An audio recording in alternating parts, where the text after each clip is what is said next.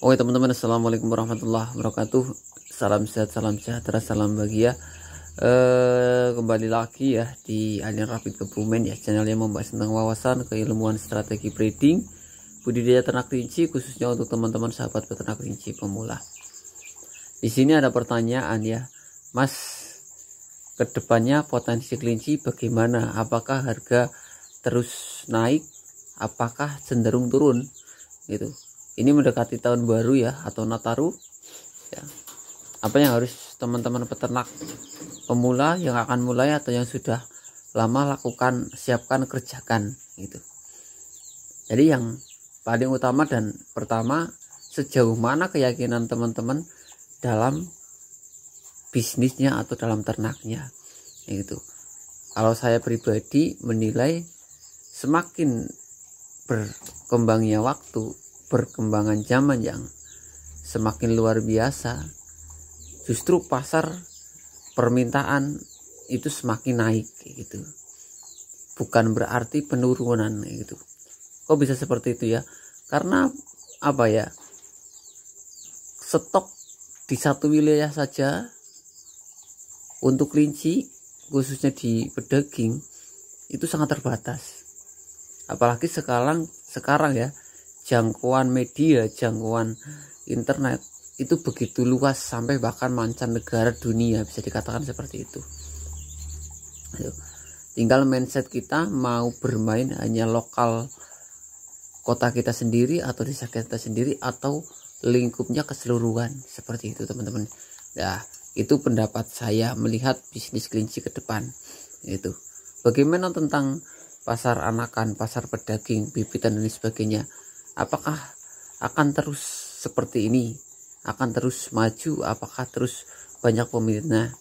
Kalau saya nilai sendiri ya ini hanya sekedar pengalaman dan pendapat saya. Bila mana nanti ada yang perlu dikoreksi perlu disanggah perlu dibenarkan silahkan sanggah silahkan koreksi di kolom komentar. Pastinya dengan komentar dengan sanggahan yang sopan dan santun seperti itu ya. Agar teman-teman yang notabene baru di sini e, baru ternak baru belajar di channel ini ikut nyimak ikut nyaman apa yang teman-teman senior atau teman-teman yang ngoreksi di sini e, sampaikan. Seperti itu. Terkait pasar anakan terkait pasar daging ya yang paling utama Alhamdulillah sampai hari ini sampai detik ini permintaan terus naik dan saat ini eh, Kebumen itu sudah ada yang berani narik di angka 50.000 per kilo untuk kelinci pedaging ya untuk kelinci potongan itu dengan bobot minimal 2,2 kilo hidup seperti itu.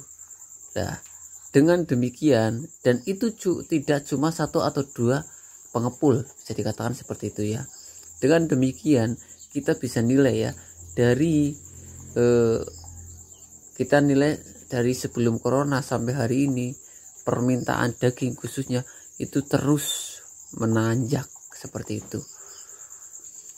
Hukum pasar potongan atau dagingan terus berjalan ya.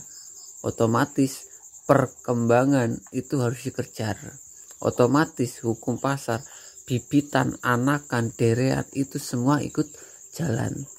Karena ujung tombaknya atau kunci pasar di kelinci itu sudah dipegang yaitu kelinci di potongan atau di bedaging.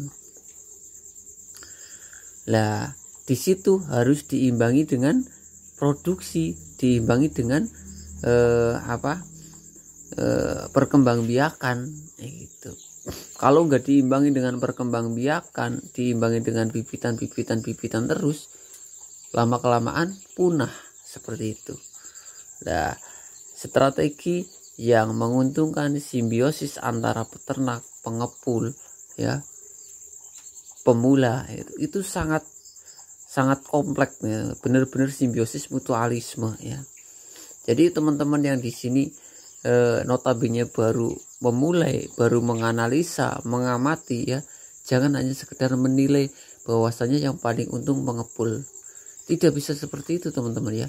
Semua membutuhkan semua dibutuhkan semua menguntungkan semua saling melengkapi.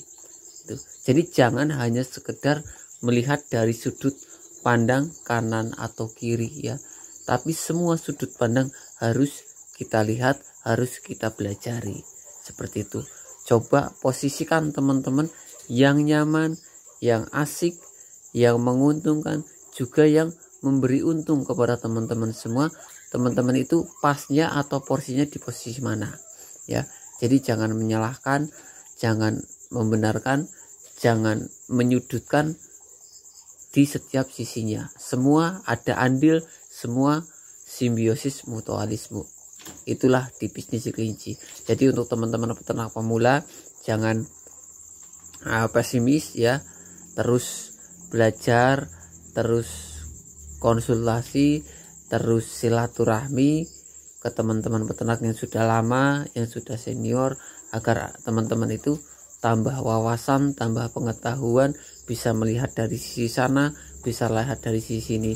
Dan saya sarankan jangan hanya belajar rinci di kota teman-teman saja, keluar dari kota teman-teman agar tahu potensi seberapa besar yang ada di bisnis kelinci ini. Semoga bermanfaat apa yang saya sampaikan pada kesempatan kali ini. Ya, bila mana masih banyak tutur kata, perkataan, sikap yang kurang pas, mohon dikoreksi dan mohon dimaafkan. Akhirul kalam wabillahi taufiq Assalamualaikum warahmatullahi wabarakatuh.